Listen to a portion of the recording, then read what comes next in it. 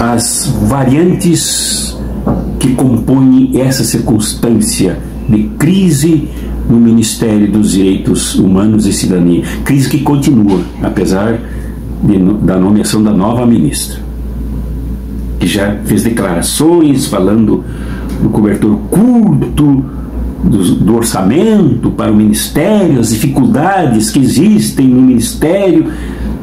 E o ambiente é realmente rubro. É difícil.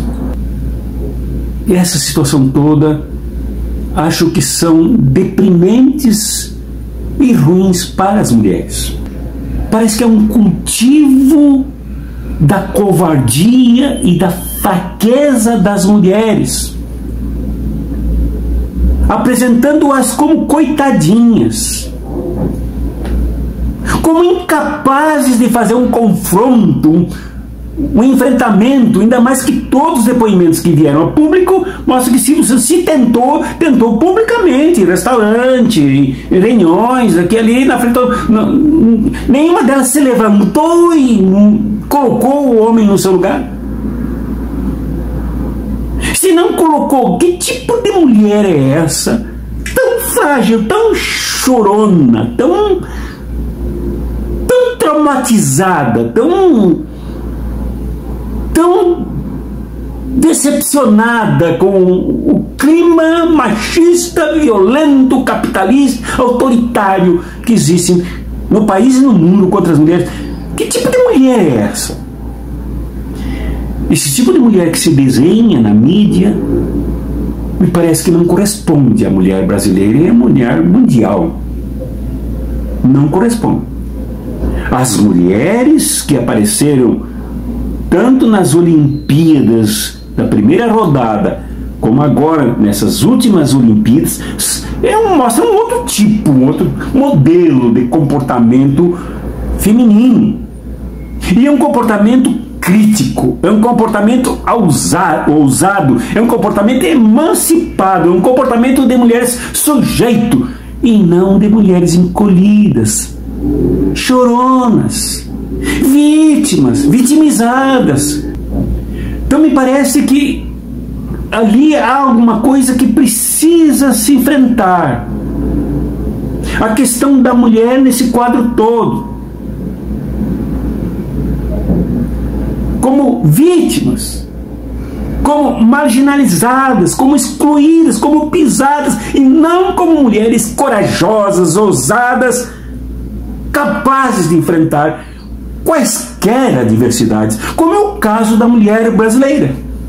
Então, aí entra esse papel, eu acho altamente suspeito, desta ONG Me Too Brasil, esta ONG de inspiração estadunidense, não sei se não é americana. E quando colocam essas multinacionais, colocam o nome Brasil, ali tem coisa. Mesma coisa com a direita que faz seus, seus, seus partidos de direita, reacionários, conservadores, dominadores, colocam lá popular ou democrático na sigla no nome do partido para disfarçar e mascarar o que são de fato.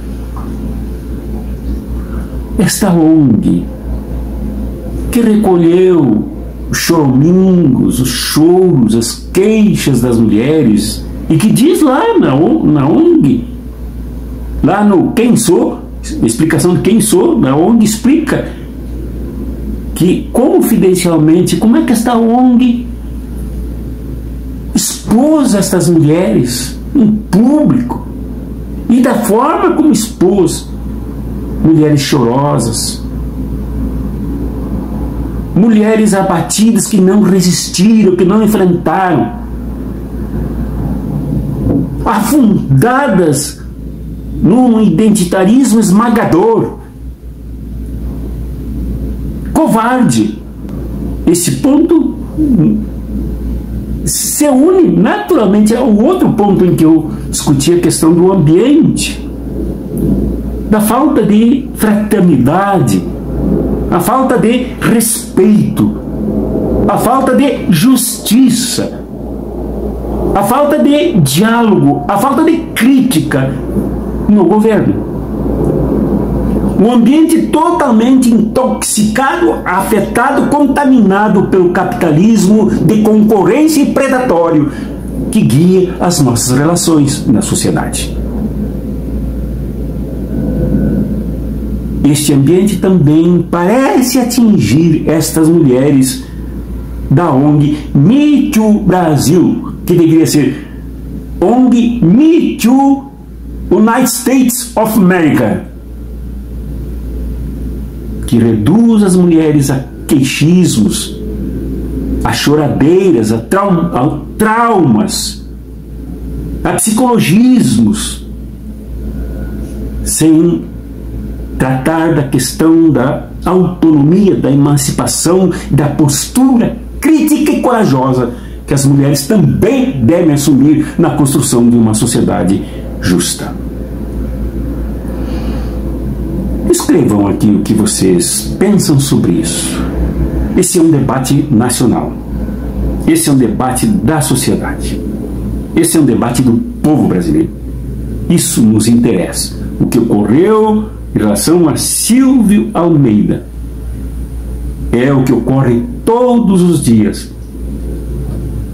Os ônibus nas universidades federais, nas universidades estaduais, nos institutos de educação, nas escolas privadas, nas redes estaduais e municipais, nos ônibus, em toda parte das empresas todos os dias, em todos os turnos, é preciso levantar esta questão, que não é meramente circunstancial, é estrutural, de um modelo humano absolutamente desprezível, covarde, fofoqueiro